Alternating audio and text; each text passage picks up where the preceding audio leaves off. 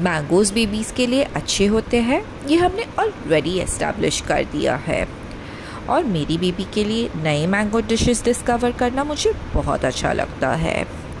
Mango oats porridge बनाने के लिए एक कढ़ाई में आधा कप रोल्ड ओट्स ले, इनमें धीमी आँच पर सात से आठ मिनट तक खुशबू आने तक भून ले। इसे पूरी तरह ठंडा होने दें। इसे मिक्सर ग्राइंडर में डालें और बारीक पीस लें। कढ़ाई में एक कप पानी डालकर गरम कीजिए। इसमें पिसा हुआ ओट्स मिलाए और तब तक मिलाए जब तक गुटलियाँ ना रह जाए और मिश्रण गाढ़ा ना हो जाए। एक पका हुआ आम ले इसे छिलकर काट ले और इसकी प्योरी बना ले। इसे गर्म मिश्रण में मिलाए।